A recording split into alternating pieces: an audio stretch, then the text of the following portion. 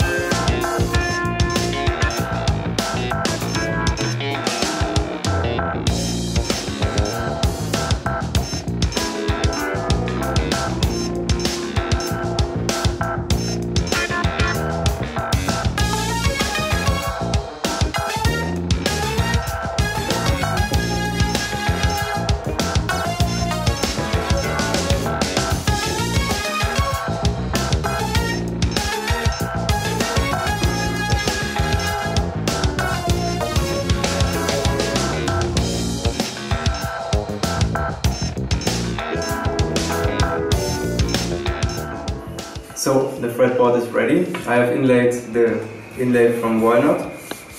It fits pretty well and it just needs some further machining to clean out the edges and then it's ready to be applied on the neck of the instrument.